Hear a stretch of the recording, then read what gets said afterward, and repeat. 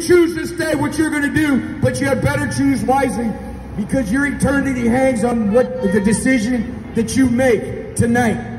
Heaven or hell, life and death, all by what you do with Jesus.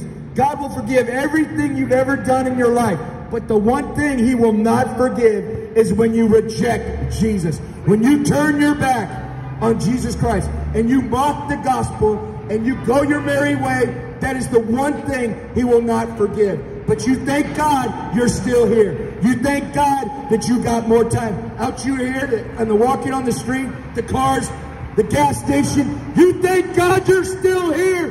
Because many people tonight did not make it into eternity. They died and they went to hell. Some went to heaven, but the majority went to hell by far. And tonight, God is calling you, Hesperia, to wake up and to repent to turn from your wicked ways. Why should you die? God does not take pleasure in the death of the wicked.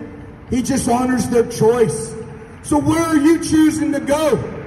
Are you choosing to go to heaven or are you choosing to go to hell? Your life is going to show what decision you're making. Did you repent of your sin? Did you put your faith and trust in Christ? What did you do? Because that's determining where you're going to be, heaven or hell. Because we're all guilty. Us out here included, we're no different. We've all violated God's law, and we're all lost without Jesus. But we repented. That's the difference. We repented and we put our faith in Christ. And we want you to do the same thing. To see that the Lord is good and very gracious and very merciful. So tonight out here in Hesperia, it is time to get right. It is time to repent and to surrender everything to Him before death comes knocking.